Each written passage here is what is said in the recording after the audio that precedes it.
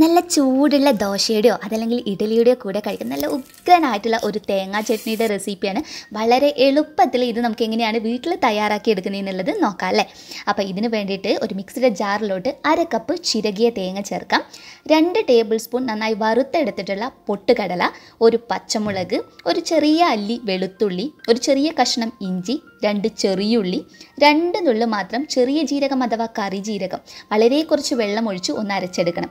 അരച്ചെടുത്ത ശേഷം ചട്നിക്ക് ആവശ്യമായിട്ടുള്ള വെള്ളം ഒഴിച്ച് ആവശ്യത്തിനുള്ള ഉപ്പ് കൂടി ചേർത്ത് ഒന്നുകൂടി നന്നായിട്ട് അരച്ചെടുക്കാം. ഇനി ഒരു പാത്രത്തിനകത്തോട്ടേക്ക് ഒഴിച്ചു കൊടുത്തതിന് ശേഷം താളിച്ച് ചേർക്കാം. നല്ല ചൂടുള്ള ചീനച്ചട്ടിയിലോട്ടേക്ക് രണ്ട് ടീസ്പൂൺ വെളിച്ചെണ്ണ ചേർക്കാം. ഇനി ഒരു ടീസ്പൂൺ കടുകിട്ടിട്ട് പൊട്ടിച്ചെടുക്കണം. രണ്ട് നുള്ളു ചെറിയ ജീരകം ഒന്നോ രണ്ടോ വറ്റൽമുളക് കുറച്ച് കറിവേപ്പില കൂടി ചേർത്തതിന് ശേഷം താളിച്ചത് നമുക്ക് നമ്മുടെ ചട്നിയിലോട്ടേക്ക് ഒഴിച്ചു കൊടുക്കാം. അപ്പോൾ നമ്മുടെ നല്ല ടേസ്റ്റി ആയിട്ടുള്ള തേങ്ങാ ചട്നി ഇവിടെ റെഡി